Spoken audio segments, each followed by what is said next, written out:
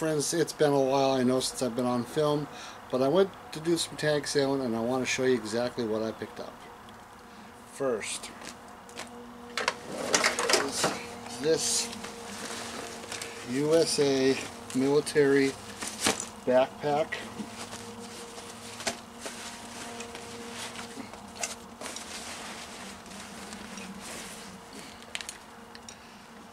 It's got big old straps here on the back. Nice support for the for your lower back. Straps along the back. Very deep. Very deep inside pretty much runs the whole length of the bag and I am very happy with this this is definitely bring some serious camping to the channel probably next year I don't know if I'll do any this year or not but this will definitely move some stuff so another thing I picked up was this metal um, ammo box Nothing special about it. Just a regular metal ammo can. I'm sure it will come in handy.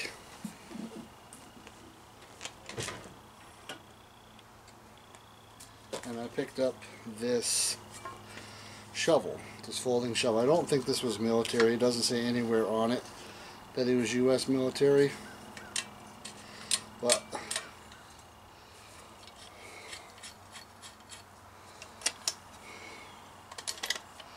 But it'll work for camping, digging pits, digging out a fire pit. So, like I said, nothing special about it, but I thought it was pretty cool and the price was right. Now these next two items are, hmm, first one.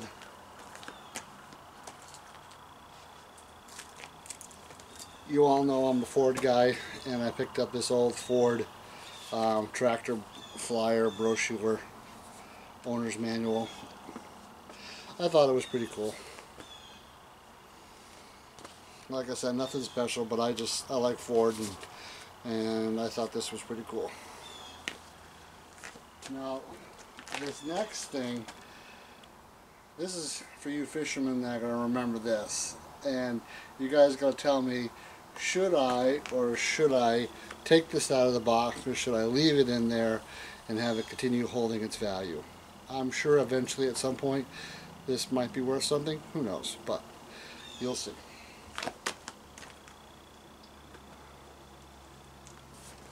A big mouth Billy Bass. Still in the box. Box is in okay condition. Don't know if it works because I haven't taken it out of the box. But the retail price at a local store at one point was $19.99 for a Billy Bass. I have one of these not inside in the box and it doesn't work, but I just thought this was pretty cool and if it's all works I thought this would be great great little item to have for a keepsake. I'm sure they don't make these anymore. So with that, you guys have a great day and I'll see you next time.